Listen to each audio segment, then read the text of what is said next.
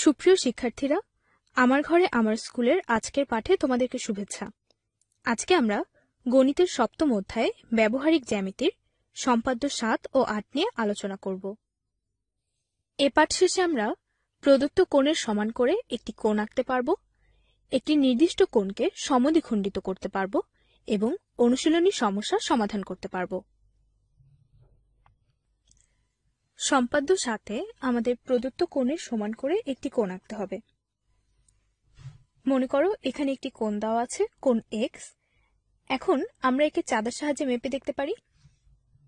চাঁদার সাহায্যে মেপে দেখলে দেখা যাবে এই কোণের পরিমাপ হলো পঞ্চাশ ডিগ্রি। তাহলে আমরা চাঁদার সাহায্যে মেপে এখানে পঞ্চাশ ডিগ্রি পরিমাপের আরেকটি কোণ আঁকতে পারি। চলো তাহলে একে দেখি। প্রথমে যে কোনো পরিমাপের একটি রশ্মি নিতে হবে। তারপর চাঁদার সাহায্যে পঞ্চাশ ডিগ্রি মেপে নিতে হবে।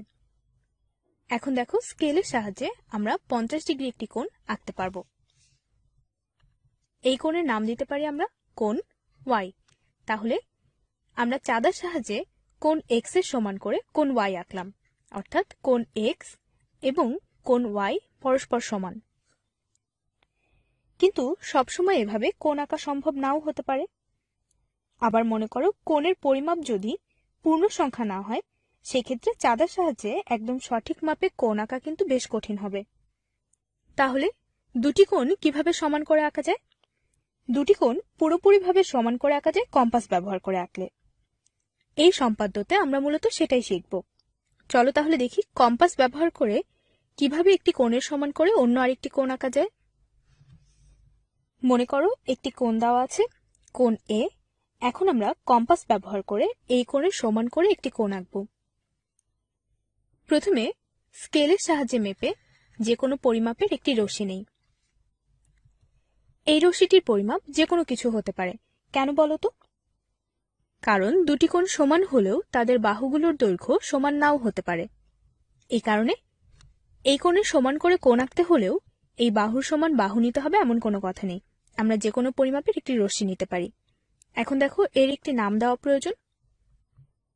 আমরা এই রশ্মির নাম দিতে পারি পি এম রশ্মি। তো এখন আগে আমাদের কোন এ কে পরিমাপ করতে হবে। তবে আমরা কোন এ কে চাঁদার সাহায্যে পরিমাপ করব না। আমরা কোন একে কম্পাসের সাহায্যে পরিমাপ করব। দেখো, কম্পাসের কাঁটাটি এ বিন্দুতে বসাই, তারপর যে কোনো ব্যাসার্ধ নিয়ে এ বিন্দুকে কেন্দ্র করে একটি বৃত্তচাপ আঁকি। তোমরাও আমার সাথে আঁকতে থাকো, তাহলে বুঝতে পারবে কীভাবে আঁকতে হয়। এই বৃত্তচাপটির কোনো নির্দিষ্ট পরিমাপ নেই, তুমি তোমার সুবিধা মতো যে কোনো পরিমাপের একটি বৃত্তচাপ নিতে পারবে। দেখো, এই বৃত্তচাপটি কোন এ এর বাহুগুলোকে ছেদ করেছে। আমরা এই ছেদবিন্দুগুলোর নাম দিতে পারি। ধরো, এই ছেদবিন্দুর নাম হলো বি এবং এই ছেদবিন্দুর নাম হলো সি এখন আমরা এই একই ব্যাসার্ধ নিয়ে পি বিন্দুকে কেন্দ্র করে পিএম রশ্মির ওপর বৃত্তচাপ আঁকি খেয়াল রাখবে, কম্পাসের কাঁটাটির মাপ যাতে একই থাকে। পি বিন্দুকে কেন্দ্র করে পিএম রশ্মির ওপর বৃত্তচাপ আঁকছি দেখো, এই বৃত্তচাপটি পিএম রশ্মিকে ছেদ করেছে। এই ছেদবিন্দুর নাম দিতে পারি আমরা? কিউ বিন্দু। এবার আমরা কম্পাসের সাহায্যে বিসি এর দৈর্ঘ্য মেপে নেব। কম্পাসের সাহায্যে আমরা বিসি এর দৈর্ঘ্য মেপে নিই। কিউ বিন্দুকে কেন্দ্র করে বিসি এর সমান ব্যাসার্ধ নিয়ে এই বৃত্তচাপের উপরে এখন আরেকটি বৃত্তচাপ আঁকি। দেখো, বৃত্তচাপ দুটি পরস্পরকে ছেদ করেছে। এই ছেদবিন্দুর নাম দিতে পারি আমরা আর বিন্দু। এবার পি আর যোগ করতে হবে। স্কেলের সাহায্যে আমরা পি আর যোগ করি। তাহলে দেখো, আমরা এই কোণের সমান একটি কোণ পেয়েছি। অর্থাৎ এই কোণটি কোণ সি এ বি কোণ সি এ বি সমান হল কোণ আর পি কিউ। তাহলে, এভাবে আমরা কোনো কোণের সমান করে কম্পাসের সাহায্যে আরেকটি কোণ আঁকতে পারি। এখন আমরা সম্পাদ্য আট নিয়ে আলোচনা করব। সম্পাদ্য আটে বলা হয়েছে, একটি নির্দিষ্ট কোণকে সমদ্বিখণ্ডিত করতে হবে। ধরো, আমি একটি কাগজে একটি কোণ আঁকলাম। এখন যদি কাগজটিকে এমনভাবে ভাঁজ করি, যাতে কোণের দুই বাহু একটি আরেকটির উপরে পড়ে, তাহলে কি হবে? এই কোণের ঠিক মাঝ বরাবর একটি ভাঁজ হবে। এই ভাঁজ বরাবর একটি রেখা আঁকলে দেখা যাবে, এই রেখা দিয়ে কোণটি দুই ভাগে ভাগ হয়েছে, অর্থাৎ কোণটি সমদ্বিখণ্ডিত হয়েছে। তো এখন আমরা এই কাজটিই করব, তবে কাগজ ভাঁজ করে না, আমরা কম্পাসের সাহায্যে দেখব কোনো কোণকে কীভাবে সমদ্বিখণ্ডিত করা যায়। আমরা যে কোনো পরিমাপের একটি কোণ এঁকে নিই। দেখো, স্কেলের সাহায্যে আমরা যে কোনো পরিমাপের একটি কোণ এঁকে নিচ্ছি। এই কোণটির নাম দিতে পারি আমরা? কোণ এ এখন এই কোণকেই আমাদের সমদ্বিখণ্ডিত করতে হবে, অর্থাৎ সমান দুই ভাগে ভাগ করতে হবে। প্রথমে এ বিন্দুতে কম্পাসের কাটা রেখে যে কোনো পরিমাপের ব্যাসার্ধ নিয়ে একটি বৃত্তচাপ আঁকি।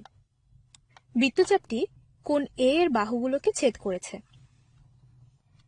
তাহলে এই ছেদবিন্দুর নাম দিতে পারি আমরা? বি এবং সি এখন আমাদের বি কে কেন্দ্র করে বিসি এর অর্ধেকের বেশি ব্যাসার্ধ মেপে নিতে হবে। দেখো বি কে কেন্দ্র করে বিসি এর অর্ধেকের বেশি ব্যাসার্ধ মেপে নিই। তারপর বি এবং সি কে কেন্দ্র করে দুটি বৃত্তচাপ আঁকতে হবে। কোন এ যে পাশে আছে তার বিপরীত পাশে। চলো তাহলে বৃত্তচাপ দুটি আঁকি। বি কে কেন্দ্র করে একটি বৃত্তচাপ আঁকতে হবে। আবার সি বিন্দুকে কেন্দ্র করে এই একই ব্যাসার্ধ নিয়ে আরেকটি বৃত্তচাপ আঁকতে হবে। বৃত্তচাপ আঁকার সময় খেয়াল করবে যাতে কম্পাসের কাঁটাটি নড়ে না যায়। এখন দেখো, বৃত্তচাপগুলো পরস্পরকে ছেদ করেছে। আমরা এই ছেদবিন্দুর নাম দিতে পারি ডি বিন্দু। এবার আমাদের এ ডি যোগ করতে হবে। চলো তাহলে স্কেলের সাহায্যে এ ডি যোগ করি। দেখো, স্কেলের সাহায্যে এডি যোগ করে বর্ধিত করি। এই এডি রেখাংশই কোন এ বা কোন সি এ বি এর সমদ্বিখণ্ডক অর্থাৎ কোন সি এ বি এর সমদ্বিখণ্ডক হল সমদ্বিখণ্ডক হল এডি রেখাংশ। অর্থাৎ এখানে যে নতুন কোণ দুটি উৎপন্ন হলো, কোণ ডি এ বি কোণ ডি এ বি এবং কোন ডি এ সি কোন ডি এ সি এই কোণ দুটি পরস্পর সমান। যেহেতু কোণ সি এ বি কে সমান দুই ভাগে ভাগ করে আমরা কোণ ডি এ বি অর্থাৎ এই কোণটি এবং কোণ ডি এ সি অর্থাৎ এই কোণটি পেয়েছি, তাই এই কোণ দুটি পরস্পর সমান। দেখো, এখানে যদি আমি বিসি এর অর্ধেকের বেশি ব্যাসার্ধ না নিতাম, তাহলে কি হতো বলতো? একটু চিন্তা করে দেখো, কিংবা একেও দেখতে পারো। বিসি এর অর্ধেকের বেশি ব্যাসার্ধ না নিলে এই বৃত্তচাপ দুটি পরস্পরকে ছেদ করত না। আর তাহলে আমরা ডি বিন্দুও পেতাম না। এ কারণে সমদ্বিখণ্ডক আঁকার সময় আমাদের এই বৃত্তচাপের অর্ধেকের বেশি ব্যাসার্ধ মেপে নিতে হয়। তাহলে এভাবে আমরা যে কোনো কোণের সমদ্বিখণ্ডক আঁকতে পারি। এবার আমরা অনুশীলনীর ষোলো নম্বর সমস্যাটি সমাধান করব। দেখো, ষোলো নম্বরে বলা হয়েছে, চাঁদা ব্যবহার না করে ৪৫ ডিগ্রি কোণ আঁকতে হবে। একটু চিন্তা করে দেখো তো, চাঁদা ব্যবহার না করে ৪৫ ডিগ্রি কোণ কীভাবে আঁকা যায়? ভেবে দেখো, চাঁদা ব্যবহার না করে আমরা কিন্তু খুব সহজে নব্বই ডিগ্রি কোণ আঁকতে পারি। কীভাবে? কোনো একটি রেখার উপর একটি লম্ব আঁকলেই তাদের মাঝে যে কোণ হবে, সেই কোণের পরিমাপ হলো নব্বই ডিগ্রি। তাহলে চাঁদা ব্যবহার না করেই নব্বই ডিগ্রি কোণ খুব সহজে আঁকা যায়। কিন্তু আমাদের আঁকতে হবে পঁয়তাল্লিশ ডিগ্রি কোণ। এখন খেয়াল করো, নব্বই ডিগ্রি কোণকে যদি আমি সমদ্বিখণ্ডিত করি, অর্থাৎ নব্বই ডিগ্রি কোণকে যদি আমি সমান দুই ভাগে ভাগ করি, তাহলে কিন্তু পঁয়তাল্লিশ ডিগ্রি কোণ হয়। কারণ নব্বইকে দুই ভাগে ভাগ করলে ভাগফল হবে পঁয়তাল্লিশ। অর্থাৎ নব্বই ডিগ্রি কোণকে সমদ্বিখণ্ডিত করলে আমরা পঁয়তাল্লিশ ডিগ্রি কোণ পাব। এই কাজটি তাহলে এখন আমাদের করতে হবে। প্রথমে চলো তাহলে একটি নির্দিষ্ট রেখা নিই। স্কেলের সাহায্যে মেপে যে কোনো রেখা নিতে পারি। এখন এই রেখার উপর একটি নির্দিষ্ট বিন্দু নিতে হবে। মনে করো, এই বিন্দুটি নিলাম। এই বিন্দুর নাম দিতে পারি আমরা, এ বিন্দু। তোমরাও আমার সাথে আঁকতে থাকো। তাহলে বুঝতে পারবে কীভাবে আঁকতে হবে। দেখো, এ বিন্দুকে কেন্দ্র করে সুবিধামতো ব্যাসার্ধ নিয়ে এই রেখার উপর আমরা একটি বৃত্তচাপ আঁকি।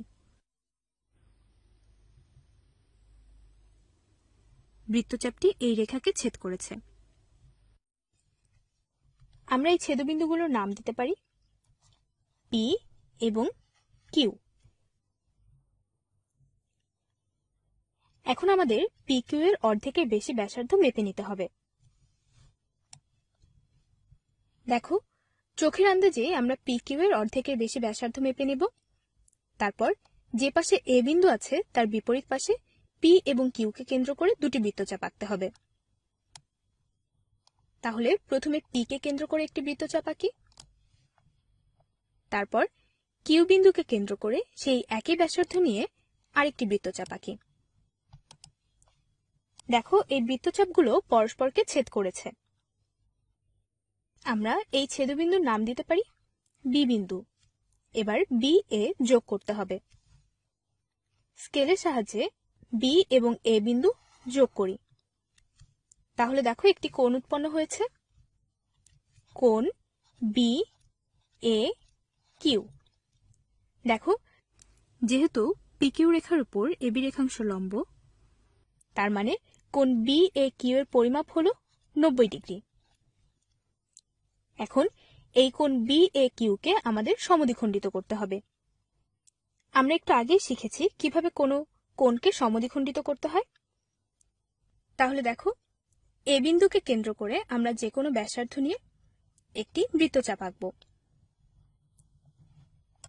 দেখো, এই বৃত্তচাপটি এই কোণের বাহুগুলোকে ছেদ করেছে। মনে করো এবি বাহুকে এটি এম বিন্দুতে ছেদ করেছে, আর একিউ বাহুকে এন বিন্দুতে ছেদ করেছে। এবার আমাদের এম এন এর অর্ধেকের বেশি ব্যাসার্ধ মেপে নিতে হবে। এবার এন বিন্দুকে কেন্দ্র করে এ বিন্দু যে পাশে আছে, তার বিপরীত পাশে একটি বৃত্তচাপ আঁকি। আবার এম বিন্দুকে কেন্দ্র করে এই একই ব্যাসার্ধ নিয়ে আরেকটি বৃত্তচাপ আঁকি।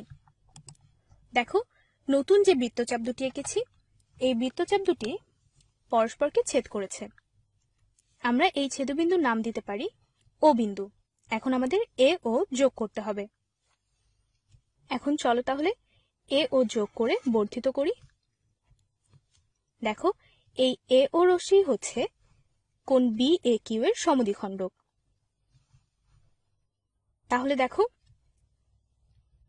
কোন বি এ কিউ কে সমদ্বিখণ্ডিত করে আমরা নতুন দুটি কোণ পেয়েছি।